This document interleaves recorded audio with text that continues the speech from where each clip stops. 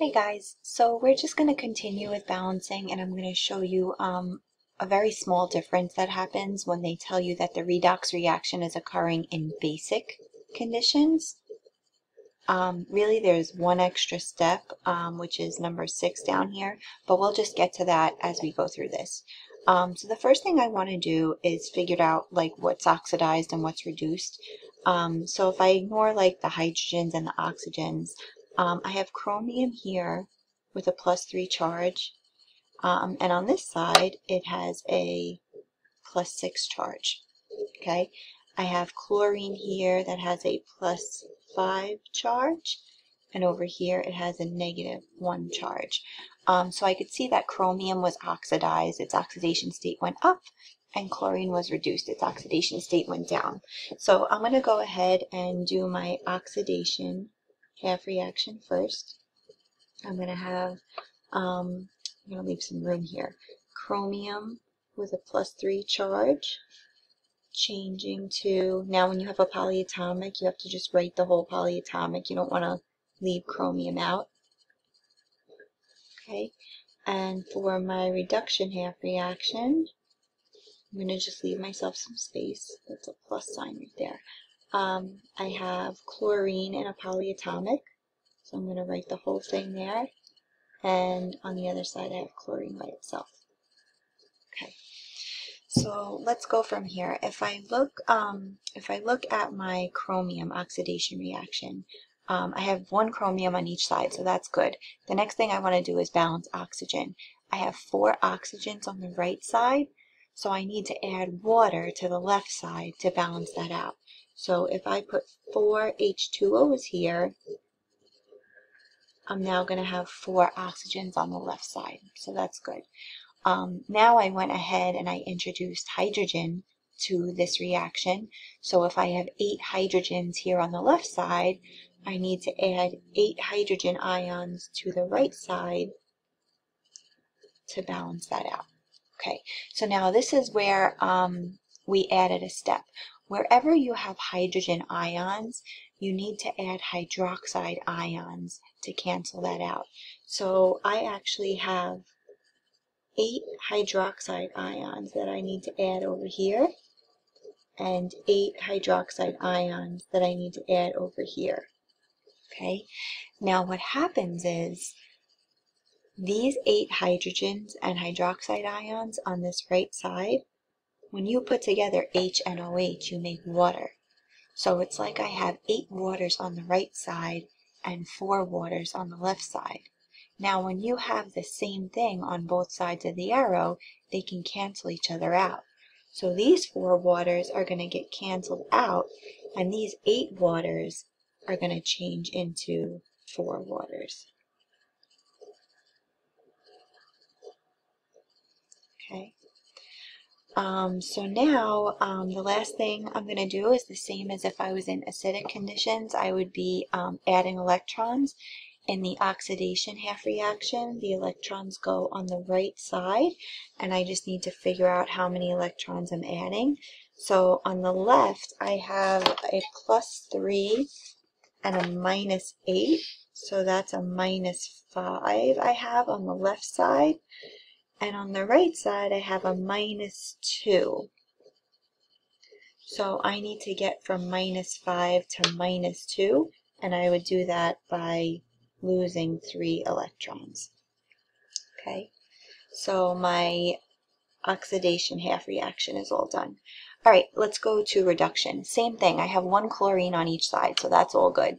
Um, how do I balance my oxygens? If I have three oxygens on the left, I need to put three waters on the right. So now that balances out oxygen. Um, now that I have six hydrogens on the right, I need to put six hydrogens on the left. Okay, so because this is in basic conditions, wherever I add hydrogen ions, I need to also add hydroxide ions to make water. That means that those hydroxide ions have to go um, on both sides. Okay, so now here I have six H's and six OH's, so I need six waters. So these three waters on the right side are going to get canceled out. And three of these six waters are going to get canceled out, which is going to leave me with three waters on the left. So same thing I did in the oxidation half reaction. Okay, so now all of my elements should balance out. And yep, so now I just need to go ahead and add my electrons. Because this is a reduction half reaction, the electrons should go in the beginning on the left side. So I have negative 1 on the left side, and I have a negative 7 on the right side. So I have to get from negative 1 to negative 7. How many electrons do I have to gain? I have to gain 6 electrons. Okay. So now, um, now I'm almost done. My number of electrons lost and gained have to be equal to each other. And if they're not, you have to make them equal. So I'm going to take this whole reaction that I just wrote here, and what do I have to multiply it by to make 3 equal to 6? I have to multiply it by 2. So basically, I'm just going to double everything. So because I don't have a lot of room here, I'm just going to kind of go in and um, let me make my eraser small. I'm going to go in here and I'm going to just erase what I don't need. So these waters got canceled out. Um, if I'm multiplying this by 2, then this is going to turn into 2 chromiums. If I'm multiplying the hydroxides by 2, then that 8 is going to turn into 16 hydroxides. Um, there's going to be 2 in front of this. Um, this was completely canceled out, so I'm just going to get rid of it so it doesn't look messy. Um, instead of 4 waters, I'm going to have 8 waters. And instead of 3 electrons, I'm going to have 6.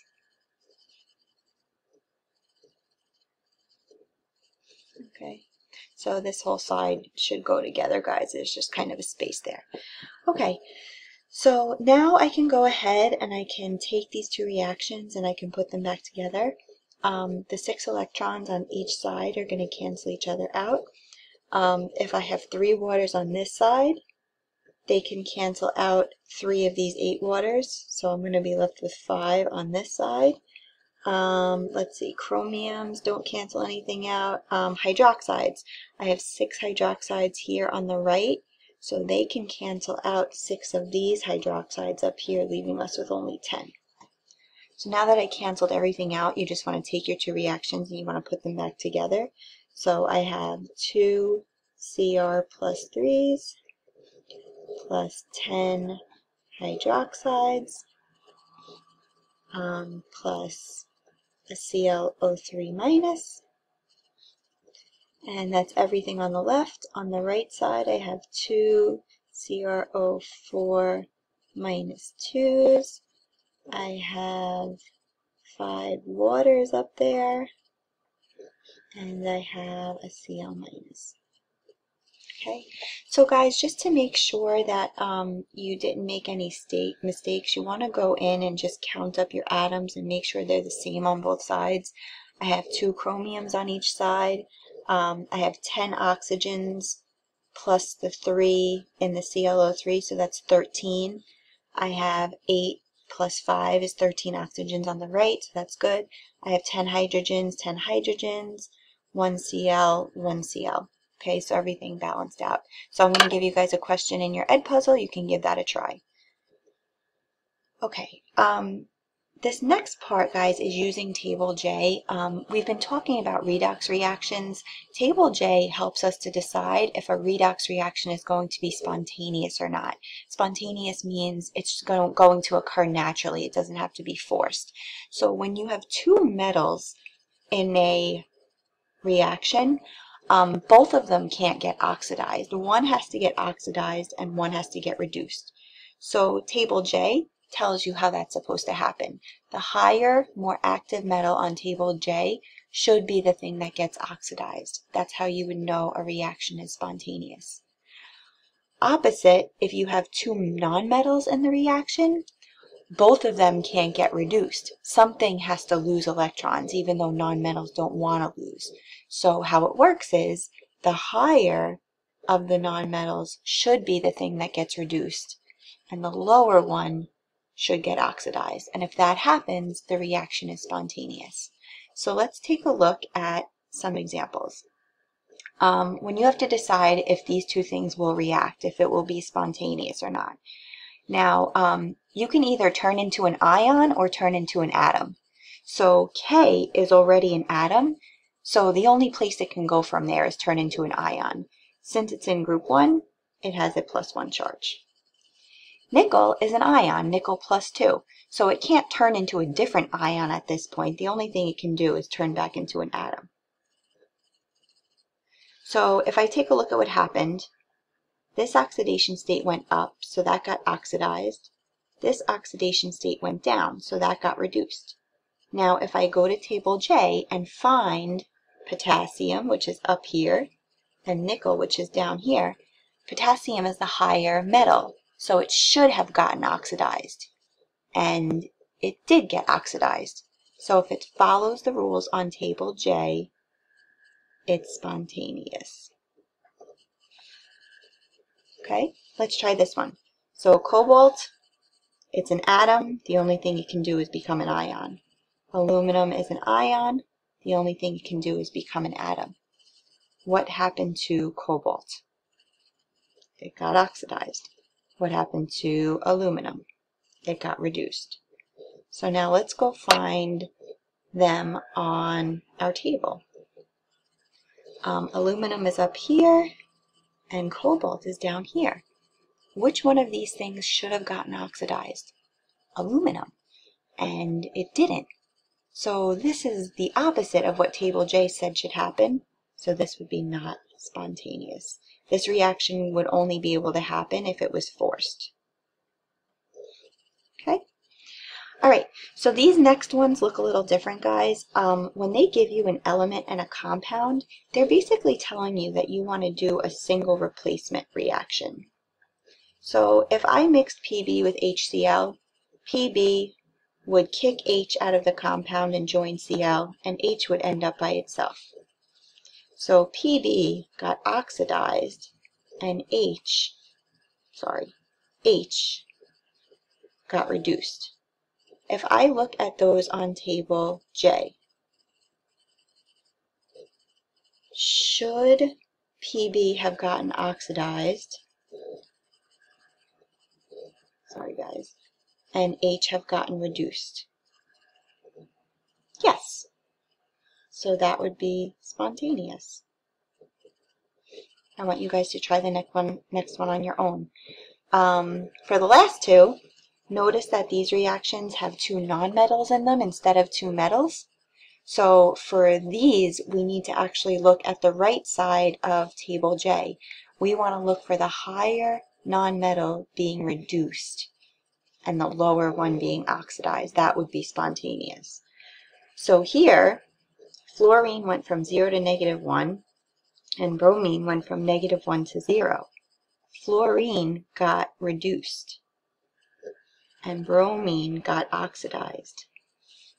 If I look at table J, fluorine is on top, bromine's on the bottom. Should fluorine have gotten reduced? Yes, it should have. The top nonmetal should get reduced. So if it follows the rules, it is spontaneous. And I'm going to have you guys try the next one on your own. Okay?